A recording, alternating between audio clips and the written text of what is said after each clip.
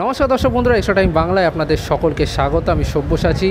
রয়েছি এখন ইডেন গার্ডেন্সে এবং এই মুহূর্তে কিন্তু জমজমা ডুবাই চলছে Bengal pro T twenty league এবং আজকে মুখোমুখি হয়েছিল স্রাচি রার টাইগার্স এবং হারবার ডায়মন্ডস এবং একটি অত্যন্ত হাড্ডাহাড্ডি ম্যাচে কিন্তু রার টাইগার্স জয় পেল।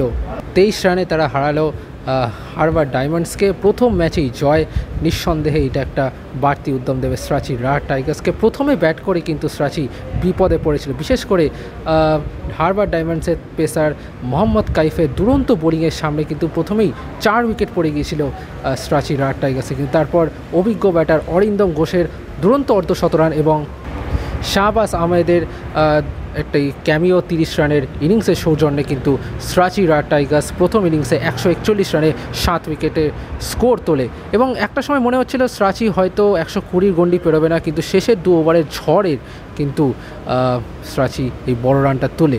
এবং জবাবে কিন্তু হারবার ডায়মন্ডস কোনোভাবেই রানটার বিরুদ্ধে কিন্তু লড়তে পারেনি। যদিও সায়ন শেখর মণ্ডল ওপেনার তিনি অর্ধশতরান করেন, পঁয়তাল্লিশ বলে একান্ন রান করে কিন্তু তিনি আউট হয়ে যান এবং শেষ অবধি কিন্তু হারবার ডায়মন্ডস একশো আঠেরো রানেই সীমাবদ্ধ হয় তাদের কুড়ি ওভারে এবং শেষ অবধি কিন্তু জয় পেল রাশ টাইগার্স। এবং ম্যাচটা নিয়ে যদি আমরা কথা বলি, বেশ কিছু সিদ্ধান্ত আম্পায়ারের সিদ্ধান্ত নিয়ে কিন্তু প্রশ্ন উঠবে, যেখানে মূলত হারবার ডায়মন্ডসের ব্যাটার প্রয়াস রায় বর্মন তার এলবিডাব্লিউটা নিয়ে একটা বড় প্রশ্নচিহ্ন রয়েছে। কিন্তু সব মিলিয়ে এই জয়টাই কিন্তু উপভোগ করছেন স্রাচি রার টাইগার্স। আমরা কথা বলে নিয়েছিলাম স্রাচি রার টাইগার্সের খেলোয়াড়, কোচ এবং কর্তাদের সাথে। কি জয়টা নিয়ে কি বলছেন তারা? চলুন শুনে নিই। হ্যাঁ এসআরটি ছেলেদের প্রথম খেলা ছিল।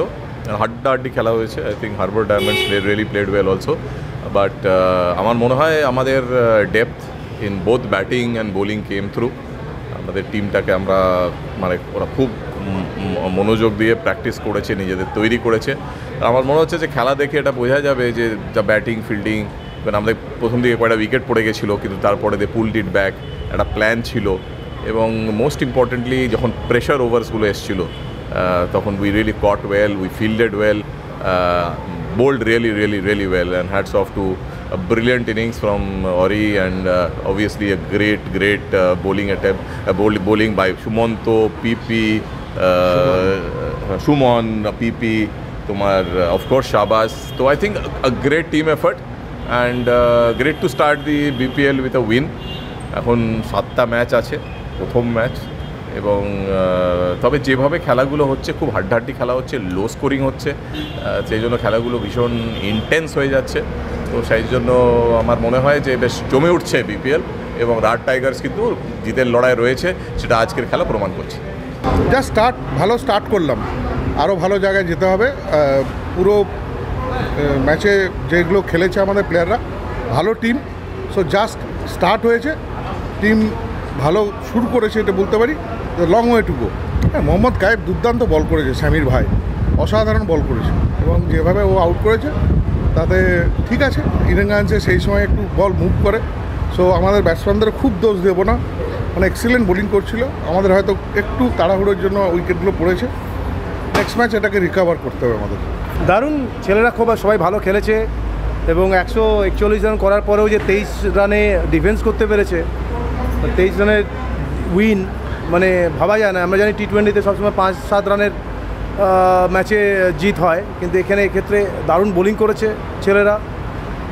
সঠিক সময়ে সঠিক ব্যাটসম্যানরা ব্যাটিং করেছে। অরি আউটস্ট্যান্ডিং পিপি টু গুড ব্যাটে বলে ফিল্ডিংয়ে এবং Arnab নন্দীও outstanding each and every one প্রত্যেকের মধ্যে একটা হাঙ্গারনেস আমি দেখতে পেয়েছি। এবং প্রত্যেকে জেতার জন্য মাঠে নেমেছিল। এবং তাই ছেলেরা প্রত্যেকে effort effortless win first match first fifty আমার। ভালোই লাগছে। আর ইনিংসটা আমার প্ল্যানিং ছিল যে আমি যাওয়ার পর আমার যেটা স্ট্রেংথ আমার খেলাই সিঙ্গেল ডাবল লুজ বল চার অ্যাবেল করা। সেই প্ল্যানেই আমি স্টিক ছিলাম, তাতে সাকসেস পেয়েছি? জয় ফার্স্ট ম্যাচ প্রো টিমের একটা কনফিডেন্স বিল্ড হয়েছে। লং ওয়ে টু গো এছাড়া আমরা কথা বলে নিলাম হারবার ডায়মন্ডসের অধিনায়ক মনোজ তিওয়ারির সাথে এবং তিনি কিন্তু যথারীতি খুশি নন। আম্পায়ারিংয়ে বেশ কিছু সিদ্ধান্ত নিয়ে, যেটা আপনাদের আগেই জানালাম যে একটা বিতর্কিত এলবিডাব্লিউ সিদ্ধান্ত এবং তার সাথে সাথে একাধিক ওয়াইডের ডিসিশনও দেয়নি আম্পায়ার সব মিলিয়ে কিন্তু মনোজ তিওয়ারি একটু বিরক্ত। তবে যে এই হারটা নিয়ে কিন্তু তিনি ছেলেদের পাশেই দাঁড়ালেন যে এই ফ্লাড লাইটের নিচে খেলাটা কিন্তু অভ্যেস নয় ক্রিকেটারদের সুতরাং অবশ্যই খেলোয়াড়দেরকে সময় দিতে হবে। এমনটাই কিন্তু জানালেন হারবার ডায়মন্ডসের অধিনায়ক মনোজ তিওয়ারি। একটা ডিসিশন যেটা চোখে দেখতে পারলাম প্যাডের অনেক উপরে লেগেছে, সেটা আম্পায়ার আউট দিয়ে দিয়েছে, সেটা বুঝতে পারছি না কেন দিতে মানে কেন দিয়েছে। তারপরে অনেক কটা ওয়াইড যেগুলো ওয়াইড ছিল ওয়াইড দেয়নি, তারপরে আমাদেরকে ডিআরএসে ওইগুলোকে ওয়াইড নিতে হলো। তো কোথাও না কোথাও একটু দেখার বিষয় আছে আম্পায়ারিংটা আর একটু যদি বেটার হতো, তাহলে হয়তো আমাদের একটা মেইন প্লেয়ার যখন আউট হয়েছে, ও যদি না আউট হতো, তাহলে হয়তো এই ম্যাচটা আমাদের গ্রিপে থাকতো। অনেক রান দিয়ে ফেলেছি। লাস্ট সেভেন ওভার্সে সত্তর রান দিয়েছি। তো খেলা তো, এটা ক্রিকেট খেলা। ক্রিকেট খেলায় কখন ভালো থাকে, কখন খারাপ হয়, তো ওপর নিচ হতে থাকে। কিন্তু প্রথমবার সব ছেলেরা খেলছে তো আলোর তলায়। আলোর তলায় তো কেউ খেলে না, এত মানে রেগুলারলি খেলে না। অনেকবার, অনেক প্লেয়াররা প্রথমবার খেলছে, যার কারণে একটু অ্যাডজাস্ট করতে হয়তো সময় লাগছে, যার কারণে ওইভাবে পারফরমেন্স উঠে আসেনি বা ঠিক আছে এইখান থেকে শিক্ষা নিয়ে এগোতে হবে।